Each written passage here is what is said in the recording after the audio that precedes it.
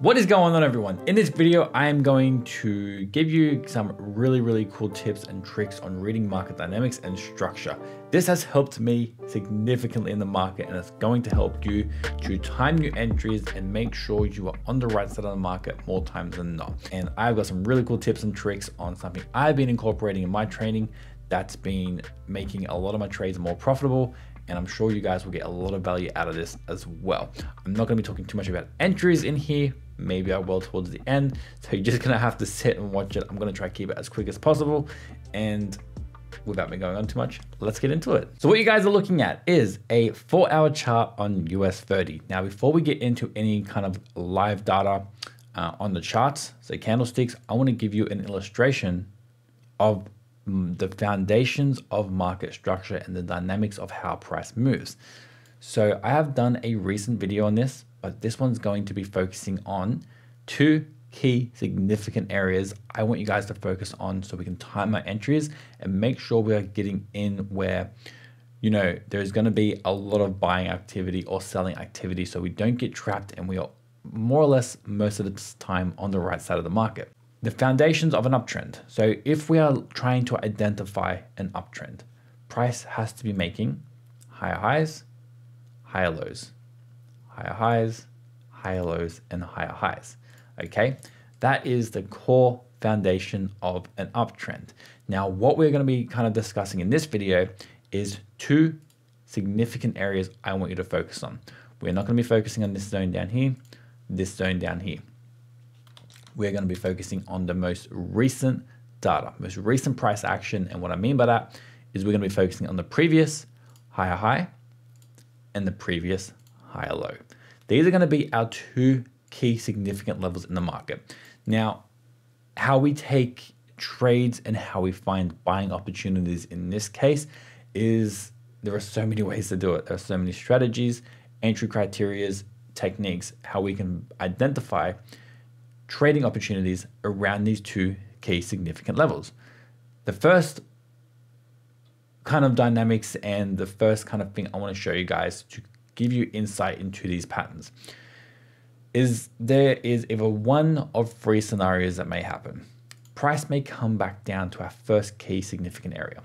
Okay, it might find very strong support, lots of wick rejections. You may see engulfing candles. You may see a double bottom type of scenario and that then we can get involved for the next extension to the upside since this market is in an uptrend so it doesn't make sense to anticipate or predict predict reversals. We want to try and be on the right side of the market at all times okay? This is the first scenario that may happen. The second scenario that may happen is price may come down to this level. It may break with strong momentum, it may pull back up. And this is where a lot of traders get trapped. They see this zone broken, they see price coming back up, retesting it as broken support, now resistance, and they wait for confirmation, bearish signals, and they sell it. The uptrend is not violated or invalidated until the previous lower high is taken out meaning we see a massive momentum candle to the downside, breaking previous structure. What usually happens in this case, price will come back down to this level. Most times, not all the time, it will find strong support. You'll see strong wick rejections to the downside. You may see strong engulfing candles, strong bullish momentum, or once again, a double bottom type scenario before that you can get involved on the next extension to the upside since we are in a bullish trend. We are not anticipating reversals. And the third thing that could happen is we could see price simply come all the way down, disregard this zone completely, and find very, very strong support at this level. Okay. The only only way a trend is invalidated is if, if, if price breaks this level. Then if we see something like this, we can then start to anticipate a reversal because the market is telling us so. We have broken a key level. That's the, the whole highlight over here.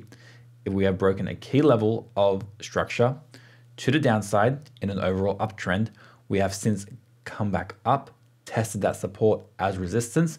We wait for confirmation, such as a double top, strong wick rejections, or whatever, and that's when we can catch the next leg to the downside. Let me quickly show you a bearish example. It's the same thing, just inverse, but I want to give you guys some illustrations so you understand the concepts. In a downtrend, price should be making lower lows, lower highs on the pullback, breaking structure, lower lows, lower highs, and lower lows. Okay, same thing, just inversed. We are not looking at this structure, we're not looking at this structure. Okay, we are looking at the most previous current data, meaning previous lower low, previous lower high. Okay, if price, once again, it can do one of those three scenarios. It can come back up, it can respect this structure very well. So this is now resistance. we have a double top scenario, whatever you want to look at for your entries that signifies strong bearish momentum, strong bearish signals in the market since we are in a downtrend. And then we can catch the next leg to the downside. Or we could have that other scenario where price breaks that level, comes back, test it. This is a massive trap for a lot of traders. It makes sense theoretically, but you got to remember understanding this one key concept two key levels in a downtrend the previous lower low and the previous lower high. Until the previous lower high is violated, we are not looking, we're not anticipating bullish, we're not anticipating buys. Price may test this level, come back up here, and we'll see something like this before price moves down, stopping a lot of people out, collecting the sell orders, the stop losses, and then moving price down with a lot of momentum. And then, of course, the third scenario price disregards that level, comes up, finds very, very significant resistance, lots of uh, selling orders up here, and then we can get involved on to the next leg down. So we don't want to anticipate buying opportunities unless the market is telling us, unless we see strong breaks above these two key levels, and then a nice confirmation, just like so. Okay. Now that we have that out of the way, let's get into a few live examples. Now, this is going to be somewhat in hindsight and everything, but I want to give you guys some insight into my new perspective of how I've been learning about market structure to help me be on the right side of the market. If you guys understand the way I trade, I like to focus on the one minute time frame, and that is where I do all my analysis. My trading has been performing very poorly, mainly because I'm getting caught in a lot of chop or on the wrong side of the market because I'm not looking at the high time frames. So this is where I want to bring your attention, learn from mistakes, and I'm going to give you some insight and a lot of knowledge right now and value into overall market dynamics and how we can save ourselves a lot of money and focus on those high probability trades. Okay, so in front of you, if I was to ask you what direction is this um, chart? Are you bullish or are you bearish? If you said bullish, you would be correct. But if we are focusing on current data, which we should be, it is bearish. Now, I'm going to get to that in a minute. Let's focus on the principles we just talked about and incorporate them into this live chart on US 30 on the four hour. If I use the replay tool, and let's go back over to here. Focusing on the most recent data, previous recent data meaning the previous higher high, which is our first key level, and our previous lower low, which is our second key level. In an uptrend, we would want to see the previous higher high violated, taken out to continue the overall uptrend. And which you guys can see here, this candle here broke above the most recent higher high meaning the bullish trend is intact and we are still looking for buying opportunities. Okay, we're not selling this, we're not anticipating sells, we are reacting to what price is telling us. so let's continue on. Obviously, we know what's going to happen. You can see price starts to come back down, kind of respecting that first level. But what happens? It comes a little bit deeper before finding strong momentum, a strong level of uh, support in this case. All right. Now, with zones, we have to be very systematic in how we apply this knowledge on the charts. If you question yourself, if you're like, hey, is this a higher high? Hey, is this a pullback? You are going to suffer a lot of psychological errors that's going to impact your trading performance, and that is something we want to avoid. I'm not going to talk about rules in this video to an extent, but you can see I'm using wicks, okay, to draw my zones. I usually, I'm not normally on the four hour time frame. I'm usually drawing my wicks on the whole body, um, okay, of the previous level. Play around with this and create your own rules, something you can identify clearly, something that makes sense to you, and that's what you do consistently that's going to bring you your success, not what happens based on, you know, because the market is so random, okay? But you got to identify a pattern and then develop consistent rules and consistently apply them. Anyway, off on a little tangent there, but you can see how the market has pulled back in to this level, which is our previous high, found strong support, okay? It found strong support in that level. Now let's jump down. Let me just take this back one candle before we had that massive buy um, bullish candle. If we jump down to the 15 minute time frame, if I was to show someone this chart and I said, hey, is this bullish or bearish? They would say it is bearish and they would be correct because price is moving down. But because they only have one part of the equation and they don't understand what the higher time frames are doing. And this is where a lot of traders can get trapped, including me. I'm guilty of doing this for trying to make my trading as simple as possible and I'm missing out on the bigger picture and I'm missing out on a lot of evidence. Coming back to the 4 hour time frame, market is clearly bullish, making higher highs, respecting structure. Okay? So if your trading time frame is the 15 minute and you saw this and let's say we use the same principles guys. So looking in this downtrend here on the 15 minute, using our previous lower high and our previous lower low, okay? And price came back up to this level or one of these levels, you can see how they both got taken out, okay? This is a, a good thing because you had no opportunity to go short. So obviously now that we know the higher time frames are bullish, we can now wait for price to come back down to a key support level on the 15 minute, okay? So let's see what happens here. Perfect example right here, guys. What's happened is, if I go back to the four hour, you can see it's already created that higher high, okay? Market is creating newer structure highs. Let's come back to the 15 minute time frame and let's illustrate this on how we can jump into a trend or a trade using the exact same principles I taught you earlier with the higher highs and using the most previous levels of um, the previous zones that we're going to be using for our key levels, okay? Bear with me, guys. I know I'm going pretty fast here. What are we at? 13 minutes. We're doing good. We're doing good. All right. Previous high, previous low. Once again, I'm just using the wicks to kind of demonstrate this. Let's see what happens. Prices just keep pushing higher and higher. We can get a little bit faster here. Let's see what happens. You gotta remember, price doesn't have to come back to these zones, guys. We're gonna miss trades, we're gonna miss opportunity. Okay, we the I the the biggest thing in trading is patience and not FOMOing into any entries. So looking at this price chart right now, it is very much sideways. Okay, it's kind of ranging and it's not coming back to any key levels.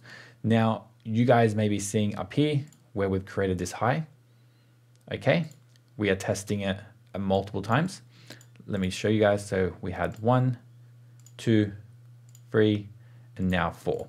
Okay, we are not anticipating a reversal. We're not going to start placing sell orders and getting short. Okay. If you're a counter trend trader and you ba trade based on structure, maybe this makes sense. But for a majority of traders, we want to stick to the right side of the market. Okay. My phone's ringing. Give me a second. Sorry about that, guys. I just had to take a quick phone call. We are not, so basically, we are not anticipating a reversal. Okay, guys. We are just because there is so much resistance. Yeah, okay. It makes sense that, hey, this level is being respected let's start looking for shorts and sell the market. No. Coming back to the four hour time frame, guys, what's happening? The bigger picture, the other part of the puzzle, the putting it all together, the equation is we are bullish. Let's stick to the right side of the market. We don't want to be anticipating a reversal when the market is so bullish on the four hour time frame. You remember this is the 15 minute time frame. There can be a lot of noise. There are trends within trends. Let's stick to the overall bigger picture. So, without trying to, you know, you could have scalped a little few, but that's a topic for another video. Let's see what happens. Let me get rid of these little things. We have a breakout. Price has created a new high above all of this. So this is pretty significant, guys. You got to remember this. It's significant because this is 20 hours, 20 hours and 45 minutes worth of sideways price action. We finally broke out of a key level. Okay, let's see what happens. Look at that. okay, so now we are creating higher highs. What does that mean? These two key significant levels, which was our previous previous higher high and higher low, are now gone. Okay, we want to pay attention to current recent data.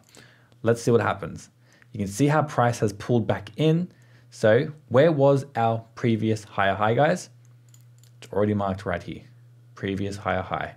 What just happened? We had a very, very nice rejection pin to the downside with the overall direction in the four hour time frame telling us we should be looking for buying opportunities let's let's mark this one up, guys. All right. Let's say we waited for this 15 minute to close. It had a very, very strong rejection to the downside. We put our stop loss below the structure level here. Okay. And let's just, yeah, there we go. We're aiming for two to one. Look at that. Beautiful. This is how we can identify very, very strong trading opportunities this is what's going to require patience, guys. We're just not going to place orders based on half of the equation. You want to build confluences, confirmations in the market. Coming back to the four hour time frame, look what we have. Price created this massive extension. Once again, guys, we can get rid of this level down here. We can keep this level. We'll just move it over, clean it up a little bit. Previous higher high. Actually, now this would be our previous high high since this 4H is making a new higher high. Okay, our trade is somewhere in that. We're basically trading inside this four hour candle. Let's continue on with this example real quickly, guys. Let's see what happens, okay? Um, what I'm going to do is I'm going to go back to the four hour time frame. I want to give you guys some perspective. Like I said, how we cleaned up this level in here, all right? This is our four hour key significant level, previous lower, higher low, sorry, previous higher high. Let's see what happens. And let, let's see what happens in the 15 minute. All right. Once again, we're not anticipating reversals. We're not trying to short this market. All right. So let's grab this.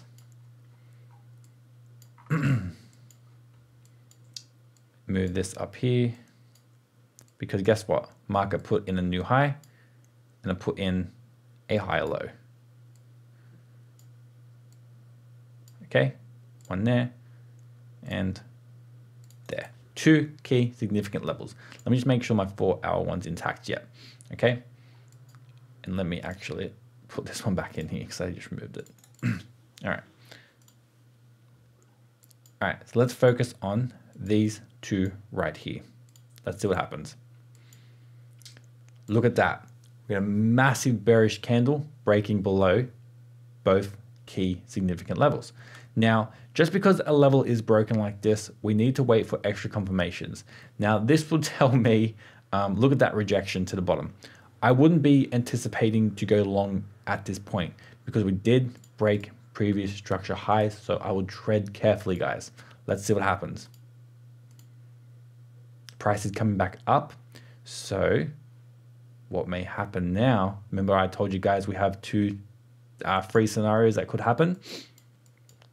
Let me paint you the picture again. This is an uptrend where we have, okay, what's happened now, guys, is previous higher high, previous higher low. What we've seen is that second scenario play out where price breaks strong to the downside and it now may use either one or two as resistance before moving back down. Let's see what happens.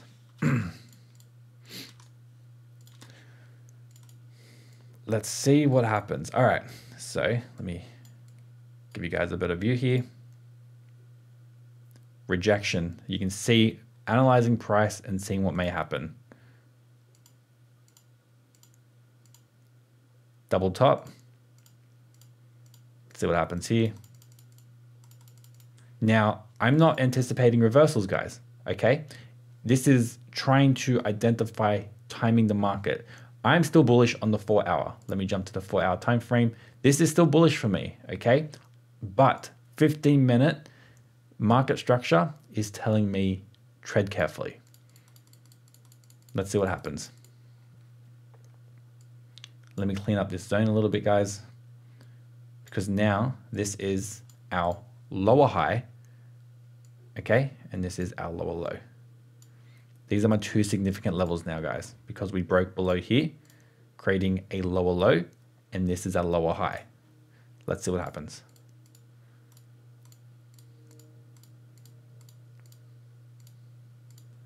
Look at that. Market is selling off. So because the four hours in an uptrend, but the 15 minute has broken structure to the downside, tread carefully, timing the market, putting everything, all these confluences and confirmations in our favor. We are not just buying and selling based on, you know, one or two things. We are starting to read the market, read the characteristics, understand the dynamics of what is happening in front of us. Okay, so now that that has happened, we have a break of our lower low. We then have our higher high. We have our two key significant levels. Okay, let's see what happens. All right, where has price come down to? This level in here is our four hour previous higher high. Okay, I hope you guys are sticking with me. What are we at? We're at 22 minutes. Wow, it's gonna be a bit of a long one.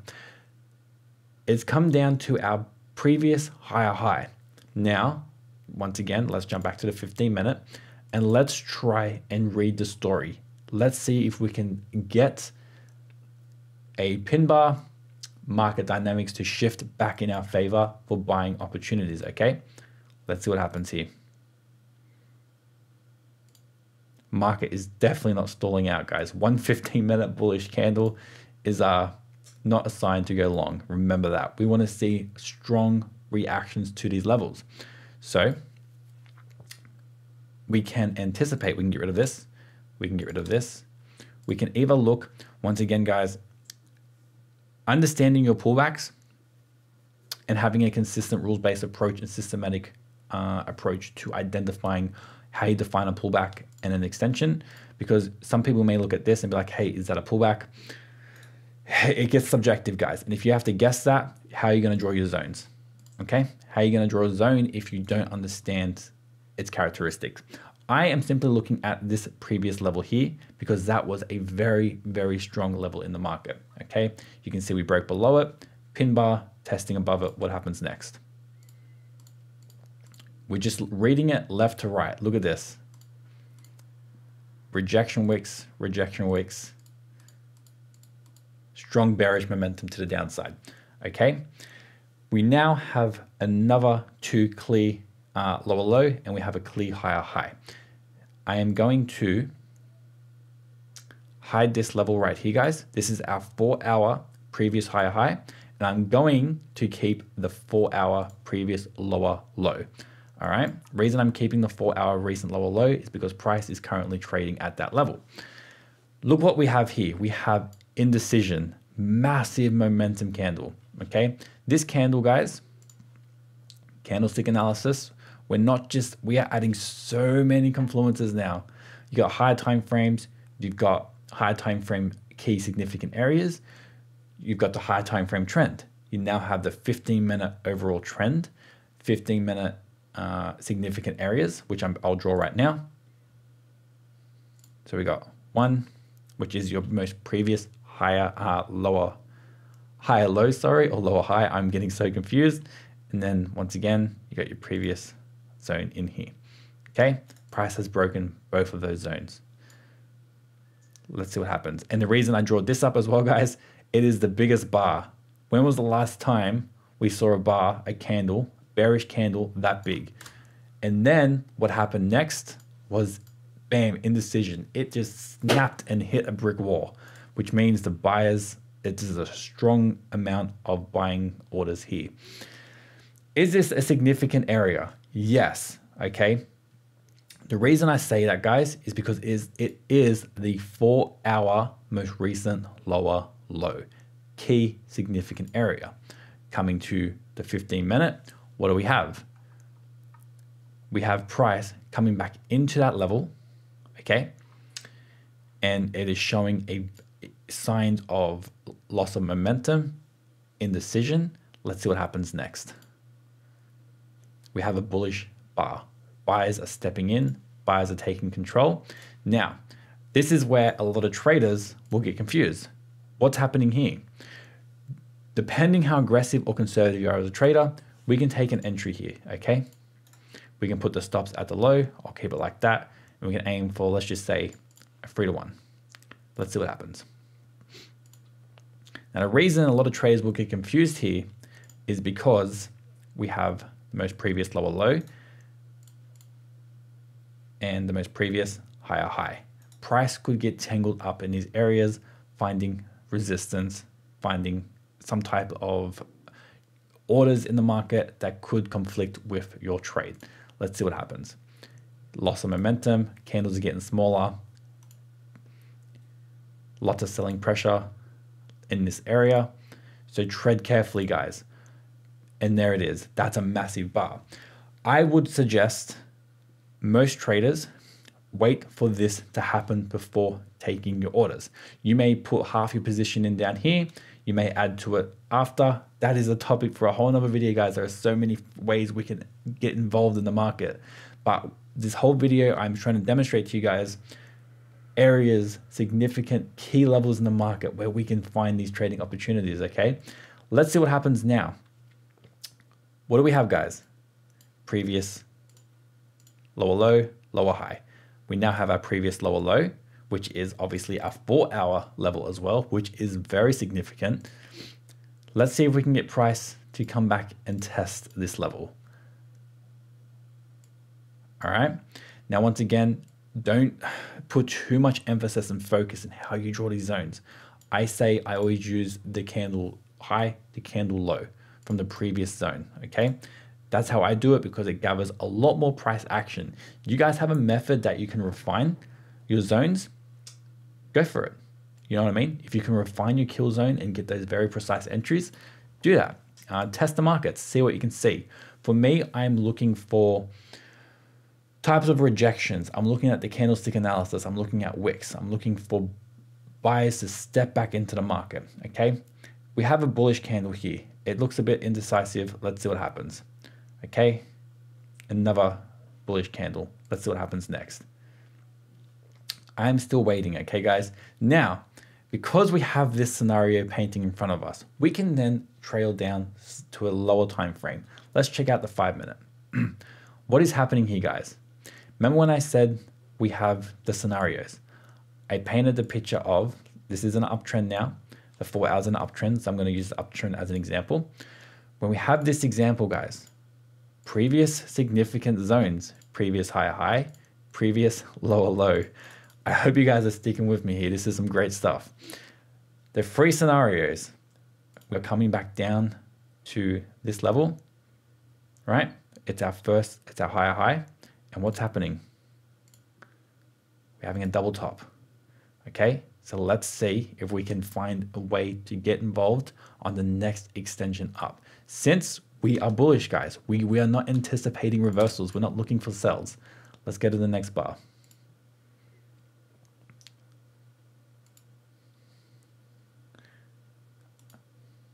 See what happens.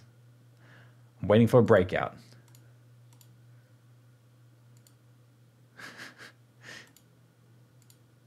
waiting for a breakout. Let's see what happens. I'm not doing anything yet. I'm waiting for a break of this level, guys.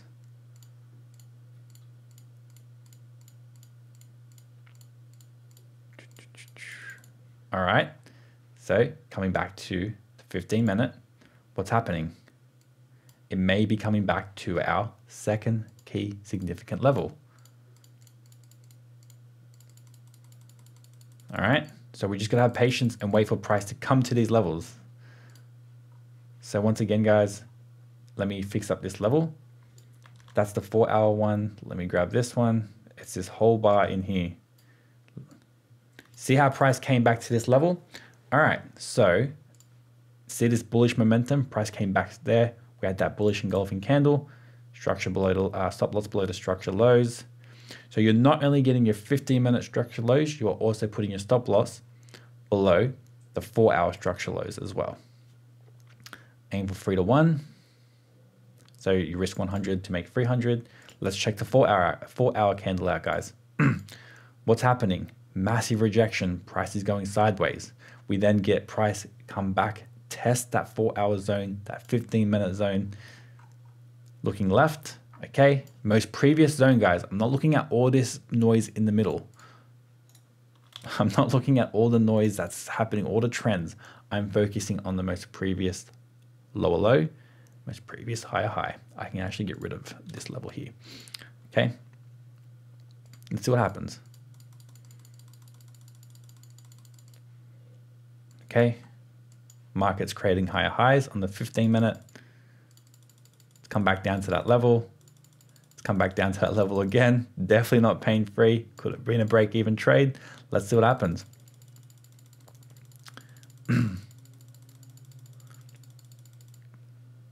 Let's see if it stops us out. I'm going to say it's going to stop us out and then bam. Okay. I'm not, this is a great example because I don't want to show you guys that everything, it's not always going to work out the way you want it to. It's never going to work out 100%. So you guys can see we got stopped out. Now, what are we at? 32 minutes. I'm sorry guys, it's a long one, but please, this is a lot of value in this video. I'm gonna jump back to the four hour time frame. Guys, what happened? what happened to our puzzle? The four hour, we found some type of resistance, market found a top, but more importantly, let's pay attention to our previous key levels, guys. Previous higher high, previous lower low, rejected it, tested it, broke it. We now have a break below structure. What does that mean? Let me get rid of this. Let me get rid of this. Let me jump back to the 15 minute. If price now tests this level, which is also the most previous 15 minute lower low and the most uh, previous lower high. Let's see what happens. Let's see if we can get a pullback up to this level, guys, to test it. You can see that this candle just wicked inside this level. It is a very tight level, strong bearish momentum. You know what? Market dynamics have shifted, guys. So what are we going to do? We can now look for selling opportunities because we have the four hour time frame. We have a break of a major four hour support level. The 15 minute is bearish, 15 minutes creating lower lows. We have a pullback back into our key significant level, strong rejection candle, bearish candle, put the stop loss just above the highs. And let's aim for, once again, just go for one to three. And let's see what happens. We would have gotten out of that trade 1.5R. But once again, that was an aggressive entry. What happens after that, guys? what happens after that? This is just, I'm painting the picture for you guys. We create, let me hide this. So this is our four hour low. All right, that just got taken out, but let's focus on the 15 minute now. We have our previous higher high. We have our previous lower low, okay, in here. Let's just focus on the previous higher high. Let me take this back to give you guys another example. Price comes straight up to it. Okay, we respect the highs. These highs don't actually, this candle doesn't break above this wick over here. We respected those highs. What happened next? Strong bearish rejection off that level. So I know we kind of know what's going to happen next. Put our stop above the highs. Once again, let's kind of aim for a structure-based uh, target. Instead of extended targets, let's aim for just in here. So let's go for two to one. And we know that's going to hit, get hit. Price comes back up, test the level, and what happens? It kind of follows through with that bearish momentum now, guys. So the dynamics have shifted bearish. Coming back to the four hour, you guys can see this, and now we're at current data. I know this has been quite a long video, guys, but I hope you got some great value out of that. Using the market principles, the ideas of higher highs, higher lows in an uptrend, using those two key significant areas, the previous high high in an uptrend and the previous higher low in an uptrend as well, waiting for price to retrace to that level. Now, and in the bearish trend, it's the inverse. How we find the entries, we can use same time frame, we can use lower time frames to get tighter entries and tighter stop losses, giving us better risk to reward. But on the flip side, you may get stopped out because of the noise and volatility on the lower time frames and having a tighter stop loss. Um, and how we can define this, the same principles apply to every market, every instrument. You just have to, uh, like I was saying previously, guys, we have to find and develop rules on how we identify the pullbacks and the extensions so we know what we are looking at in the market we're not, there's no gray areas. We're not staring at it while looking at taking a trade, and doing analysis and just pondering over it and thinking, hey, is this a pullback? Is this extension? If you have no idea, you're gonna uh, incur a lot of psychological um, mistakes because you're you're guessing, you're not confident, and that's topic for a whole nother video, guys. Hope you guys got some value out of this video. I will be making a video about rules, how we can define these these patterns being systematic around it and eliminate any gray areas. Once again, if you did get value, smash that like button. Don't forget to subscribe to the channel and please hit that bell icon to get notified when I release my new content, especially the video relating to this one with the rules. Until then, guys, I hope you guys stay safe and I'll see you in the next one.